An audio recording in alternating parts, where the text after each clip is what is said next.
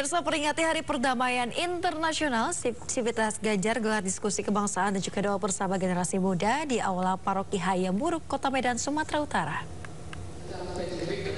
Ya, diskusi bertemakan refleksi kebangsaan doa bersama untuk Indonesia, generasi muda Indonesia, partisipasi dan jalan memilih pemimpin terbaik.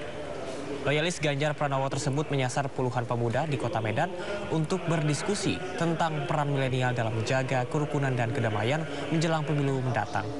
Sivitas Ganjar juga mengajak para anak muda yang hadir untuk memilih pemimpin yang menyerukan perdamaian dan menghindari perpecahan.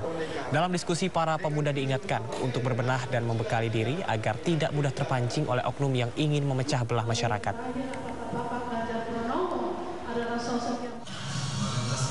Ya, pemirsa sebagai wadah dalam menampung aspirasi generasi muda, Sivitas Ganjar juga menggelar agenda sekolah politik dengan tema Kilas Balik Manifestasi Pergerakan Mahasiswa dalam Perpolitikan Bangsa. Bertempat di Aula YPPIA Kafka Space, Kota Medan, Sumatera Utara, kegiatan diikuti puluhan mahasiswa dalam rangka memberikan edukasi menghadapi pemilu 2024. Hadir sebagai narasumber politikus senior PDIP yang juga alumnus Universitas Sumatera Utara, Samulya Surya Indra, yang menyampaikan isu dan kebijakan tentang politik dalam bernegara, serta kiat-kiat dalam memilih pemimpin di 2024 mendatang. ya